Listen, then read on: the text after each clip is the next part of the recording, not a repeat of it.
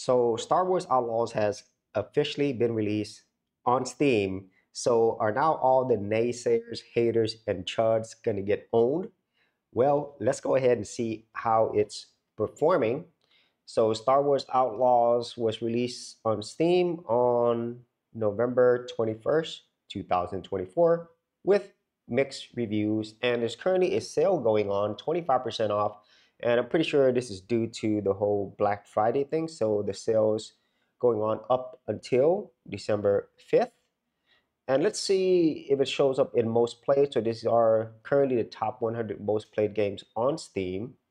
So let's see whether or not Star Wars Outlaws is here since it is a new release. And I'm assuming that Ubisoft expected it to sell well or at least help make more sales once it's officially been on Steam. So currently going down to number 80 something, 90 something, 100. So if you look at the number 100 game here, Fallout 4, there's 19,612 players. I think that's peak. Yeah, current players right now is uh, 12,663. So that is the lowest out of the 100 most played games. And I do not see Star Wars Outlaw. So if you go to SteamDB, we'll look at most played games and we'll go to trending games and there's Star Wars Outlaws. Wait, 1,267. Is that right? Let's see. Okay. Yep. Players right now, 1,258. 24 hour peak, 2,163. Wow. Yeah. Um, that is not the hit that I think Ubisoft was hoping for.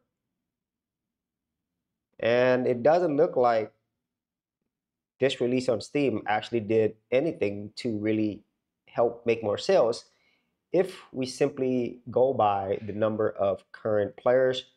And for a triple A game like this, that's cost probably near the 200 million range, or definitely more than 100 million, this is a continued disappointment for Ubisoft.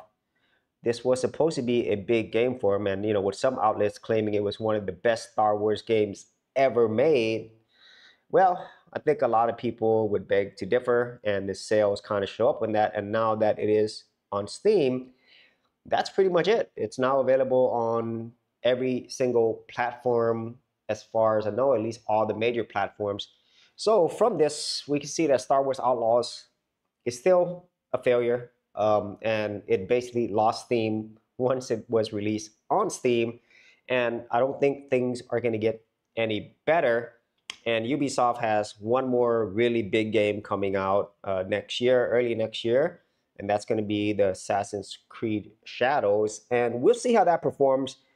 But if there's anything we could go by in terms of the amount of talk concerning controversy versus the actual game, which is very similar with what happened in Star Wars Outlaws, although Star Wars Outlaws was nowhere near as bad as the controversy and backlash that Assassin's Creed is going through or has been going through, then, well, I don't expect Ubisoft to do much better. And if Assassin's Creed also fails like Star Wars Outlaws does, well, Ubisoft is going to be in worse, worse conditions than they are right now. Their stock's already at a 10 year plus low. So who knows what's going to happen and with rumors of them being bought out by potentially Tencent, I think if Assassin's Creed doesn't deliver a hit, then that's probably going to be the very next step uh, Ubisoft's going to be going through. And well, that pretty much is it.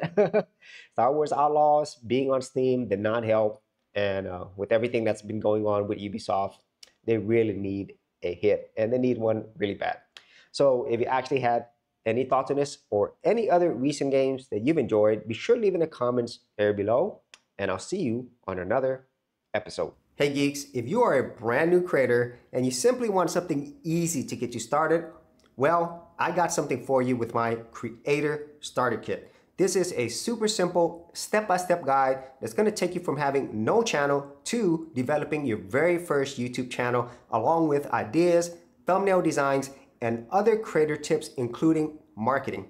And the best part is all of this is free. Simply head over to the link below, check out my page, and get started creating.